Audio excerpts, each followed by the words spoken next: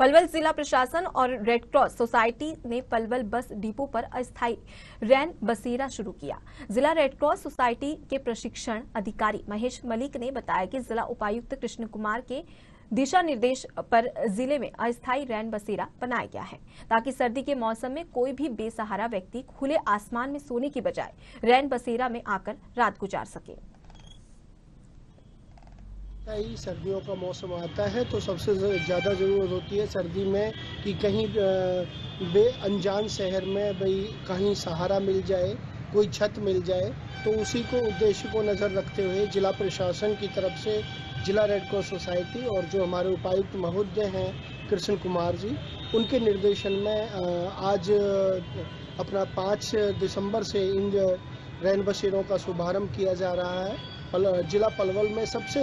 जो एक महत्वपूर्ण प्लेस है प्रोमिनेंट प्लेस है वो हमारा बस अड्डा है। बस अड्डे पे लास्ट ईयर भी ग्यारह लोगों ने आश्रय पाया था। उसके साथ साथ इनसे जुड़े हुए जैसे अपना जाट धर्मशाला है ब्राह्मण धर्मशाला है हथीन के अंदर श्री राम मंदिर गहलब रोड पे साथ ही साथ अपना होडल में वैश्य अग्रवाल सभा बस अड्डा के पास और हसनपुर में जो हमारा उत्तर प्रदेश से लगता हुआ एरिया है वहाँ उपकार मंडल संस्था के द्वारा ये रैन बसेरे चलाए जा रहे हैं। ये रैन बसेरा लगाया हुआ है हमारे रेड क्रॉस सोसाइटी ने।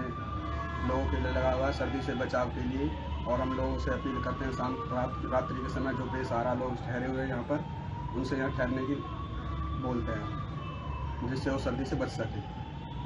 रेड क्रॉस सोसाइटी की तरफ़ से जो रैन बसेरे शुरू किए हैं उनका सबसे बड़ा फ़ायदा ये है कि जो लोग रात को खुले में सोते हैं, उनको बाहर नहीं सोना पड़ेगा। इन रेन बसेरों में आके सोए और हमारी यही अपील है लोगों से कि जो भी कोई बाहर सोता हुआ दिखाई दे, उन्हें ये बताएँ कि बस स्टैंड पर पलवल बस।